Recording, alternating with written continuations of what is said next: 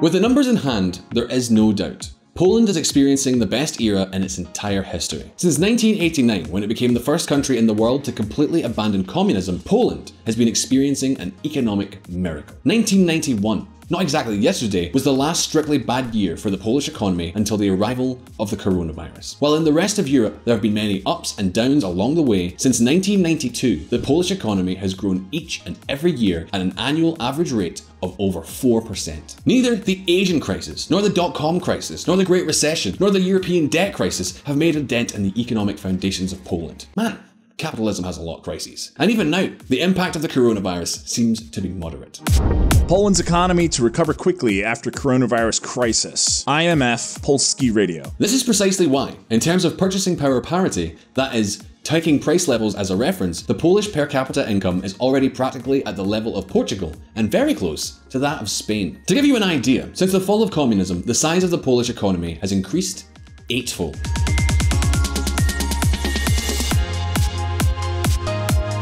And it's not just the GDP. All indicators have improved significantly. Until the impact of the coronavirus, exports were going from strength to strength. Job creation was breaking records almost every new year. And, as another example, the productivity of Polish workers has increased by a factor of three since 1993. This is something like we talked about here in a past video on visual VisualPolitik. In a way, Poland is becoming something like the new Germany of Europe. Maybe that is not the best example. But what it is, is a new industrial and export power. And all of this is a very, very different scenario to where it was in 1989.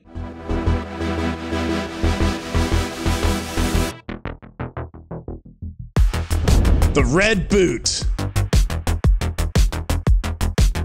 You see, my friends, between 1945 and 1989, that is, for almost 45 long years, Poland was under the control of the Soviet Union. During all that time, the Poles could not choose the type of government nor the political, economic, or social model of their country. Everything, absolutely everything, was imposed from Moscow through the Communist Party of Poland, the so called Polish United Workers' Party. However, hold on a moment, because even with all that, it's clear that the system in Poland was one of the least extreme or totalitarian east of the Iron Curtain. There were several reasons for this, including international pressure, the fact that Poles felt themselves to be mostly Central European citizens, and because civil society was stronger, or rather, that it existed in some way. And that was already saying a lot. In addition, the Catholic Church had a lot of influence in the country, and you could say that in some way it gave shelter to very different ideas from those that came from Moscow. The point is that all these elements allowed for some opposition to exist in then Polish People's Republic, for movements such as the Solidarity Union to emerge, for land to be barely collectivized, or even for the Polish authorities to try their luck with the introduction of market socialism, a political approach that consisted of trying to apply market principles to centrally planned economies. Which, in this case, didn't really work all that well. However, despite everything, despite having a less radical or totalitarian regime, the 70s and 80s were also very hard years, both politically and economically. For example, in the late 1980s, the most popular expression was "nie ma," there's none. It was an expression that was repeated over and over and over again in the stores, in the kiosks, and in the taverns, because the lack of the most basic products was so widespread. And if nie ma was perhaps the most popular, or at least the most repeated expression, one of the main activities in daily life was queuing. People spent hours and hours in long lines waiting to buy some product that was rumoured to have arrived at that establishment. It seems that we either have long lines for no food, or long lines for food they can't afford. It is difficult to find a witness account about life in socialist Poland that does not refer precisely to these immense queues. It is something that has been burned into the collective imagination.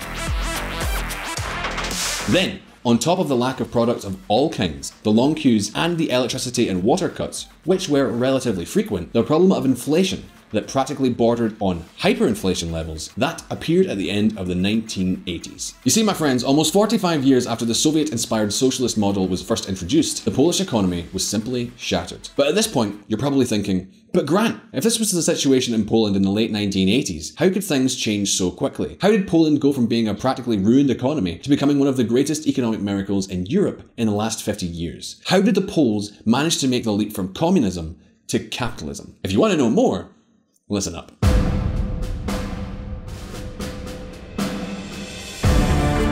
The transformation, the Balcerowicz plan. The economic crisis, the growing opposition, and the openness to the West promoted by Mikhail Gorbachev ended up causing all the communist regimes to begin falling apart, one by one. Poland was one of the first. On the 1st of January 1990, the first technically post communist government began to implement a revolutionary reform plan to change the country from top to bottom. We're talking about one of the most revolutionary and profound economic reform programs ever undertaken in the world. And what was their goal?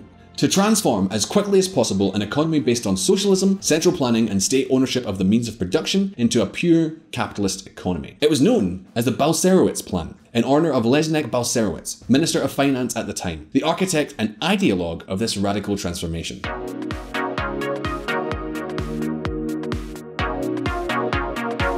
Leszek Balcerowicz was a young 42-year-old economist who had received his doctorate from the Central School of Planning and Statistics in Warsaw, and who had belonged to the powerful Polish United Workers' Party until he decided to leave it in 1981. During his academic studies and research, Balcerowicz had read, probably clandestinely, works by Mises and Hayek concerning the debate on socialism. It was something he said had a great influence on his way of thinking. Through them, he took on their ideas that property rights and free markets were essential for a rational pricing system to work and for coordinating an economic system. In addition, Balcerowicz also studied in detail the reforms of Ludwig Erhard, the German political leader who led the changes that brought about the so-called German economic miracle of the Federal Republic of Germany after the devastation of World War II.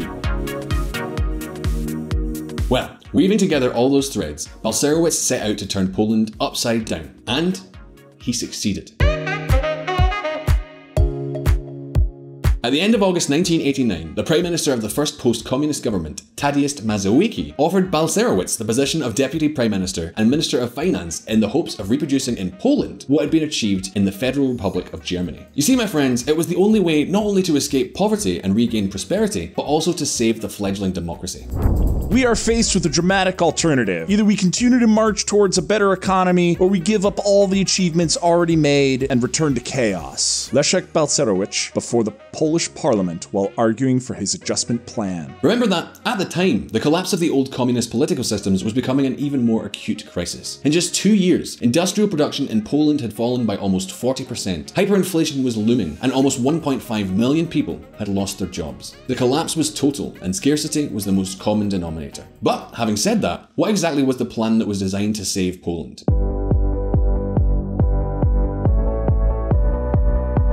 You see, the Balcerowicz plan sought to do many things at once. On the 6th of October 1989, it was presented on television, and in December, a comprehensive package of 11 laws was passed in Parliament that would change the history of Poland forever. The first was the Act on Financial Economy within state-owned companies. And remember that, at the time, state-owned companies dominated the vast majority of the Polish economy. An example of this law was that it required companies to be managed according to market criteria and allowed large public companies to declare bankruptcy. If they were not self-sufficient, they would have to be reorganized or liquidated. Then the second law was the Act on Banking Law that, among other things, prohibited the central bank from financing the government's deficit and greatly restricted the creation of new money. In other words, it stopped the banknote printing machine in its tracks.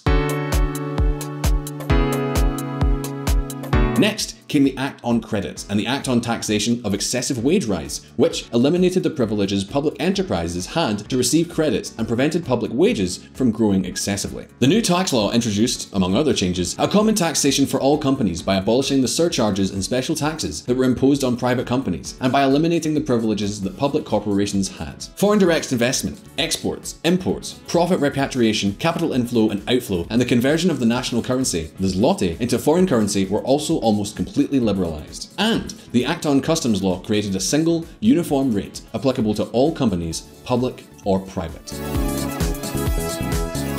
And not only that, Price controls were also eliminated, along with many of the subsidies that the state was distributing everywhere. The labour market was made more flexible, and even for the most distrustful foreign investors, a 100% guarantee of the investment was established in case of expropriation. And of course, a plan was put in place to privatise public companies and many of the government's properties.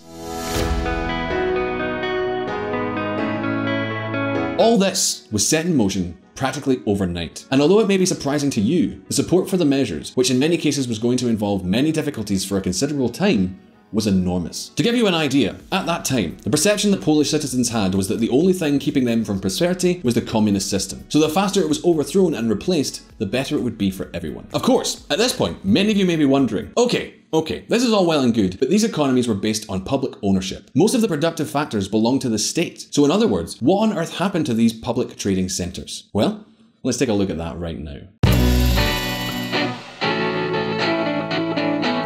The public giants.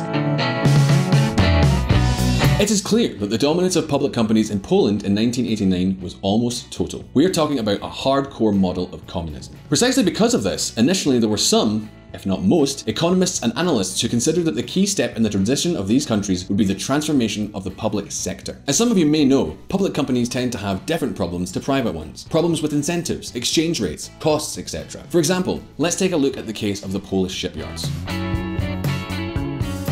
Polish shipyards were controlled by a central planning agencies. They did not have a global approach to ensure workloads. Each shipyard built all kinds of ships. In other words, they were not specialised and were also inefficient. They also had very inflated cost structures and many more employees than they actually needed. The result was that they were money losing machines, whose upkeep cost the state a fortune, because they depended not on selling ships, but on government subsidies.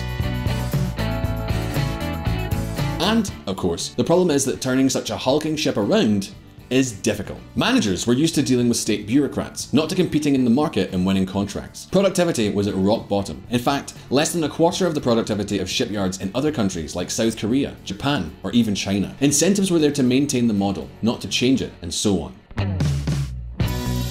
In any case, the point was that, yes, Poland implemented a privatization and restructuring plan. However, the most striking thing about this particular model is that in the transition, all of this was almost irrelevant. You see, the reforms promoted in the Balcerowicz plan generated such dynamism that in the end, the big drivers of the change were the new small and medium enterprises that suddenly sprouted like mushrooms. While the restructuring and privatization of the large public giants advanced slowly, the new private economy took off so strongly that by 1994, about 2 million private companies and businesses were already responsible for almost half of all non agricultural employment in the country. And my friends, the results are clear. Check this out.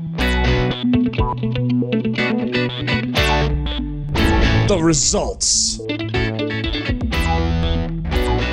Top marks, outstanding, definitely an honourable mention. This is the grade we'd give to the transformation of Poland. You see, as it turned out, the crisis resulting from the change of model was very short lived. Despite the collapse of almost all the country's institutions, in barely six years, the GDP had already recovered completely. And Poland then began a period of uninterrupted growth that has only been slowed down occasionally by the coronavirus, almost 30 years later. By 1999, Poland's GDP was already 20% higher than it had been in 1989, and business activity was skyrocketing.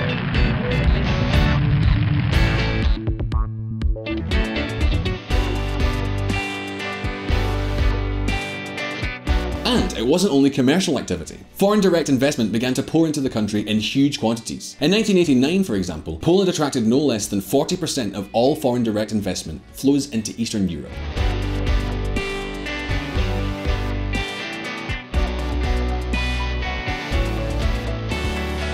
These companies you see on screen were some of the multinationals that invested the most in the country.